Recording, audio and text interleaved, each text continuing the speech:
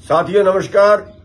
साथियों, जो आंदोलन चल रहा है शंभू बॉर्डर पे और और भी जहाँ पंजाब वाले भाई जो आंदोलन में आ रहे हैं वहाँ पे जो खबरें आ रही हैं कि पुलिस द्वारा आँसू गैस के गोले काफ़ी चलाए गए हैं, प्लास्टिक की गोलियाँ भी चलाई गई हैं, काफ़ी किसान घायल हुए हैं, कुछ पुलिस वाले भी घायल हुए हैं।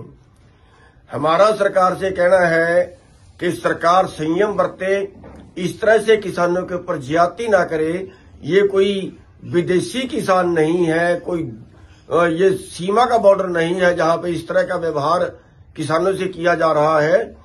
तो ए, हमारा सरकार से कहना है कि सरकार संयम बरते और सरकार इस तरह से ना उकसाए कि फिर ए, कोई अगला कोई ए, कदम ऐसा हो जो फिर सरकार को संभालना मुश्किल हो जाए। और ये जो मैटर है, ये बातचीत से सुलटाना चाहिए, क्योंकि जो मांगे हैं, वो मांगे पूरे देश के किसानों की हैं और सही हैं। कोई मांगे गलत नहीं है। कोई वो ऐसा नहीं मांग रहे कि जिससे कोई देश उजड़ रहा हो या कोई अपने स्वार्थ में मांग रहे हो।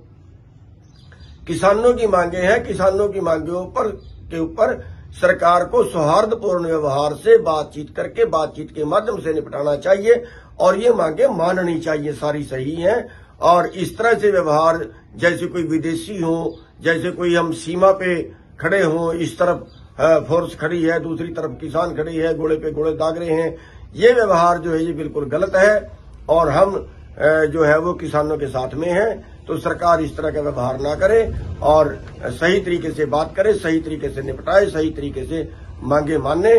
जो पीछे भी सरकार ने वादे किए थे, उनसे ही मुकरी है, जो बिल्कुल गलत है और हम पूरी तरह से देश के किसानों के साथ में हैं, पंजाब के किसानों के साथ में हैं।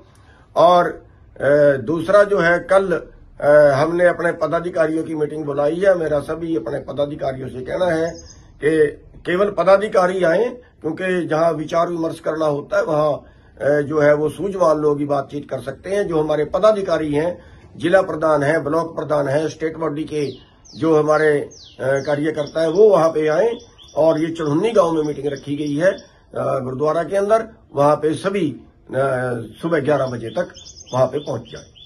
सबका धन्यवाद।